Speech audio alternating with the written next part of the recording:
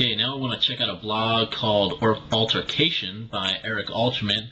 And this guy is actually pretty interesting. He also has a PhD in history, and I don't know if he would consider himself a quote unquote historian, but he definitely knows a lot about history. So that is just very cool. It kind of, um, the stuff that Eric Alterman and say Josh Marshall, the author of Talking Points Memo, the stuff that they know about history is nothing like you were taught in high school. For instance, there's, I guess what you were taught in high school is kind of this very glorified, you know, maybe American white, you know, male centric view of how you're supposed to see things and how you're supposed to know the history of the U.S. and the world.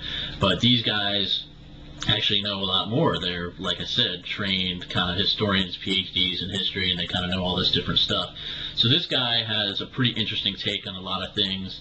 Um, looks like he's out today. I don't know what this is about. Of plans and planning. This guy Siva's like a buddy of his or something up in New York. I think they both live up there. Siva's a professor at NYU. He's got some interesting stuff to say once in a while. But I guess he takes over for Alterman when he's out of town.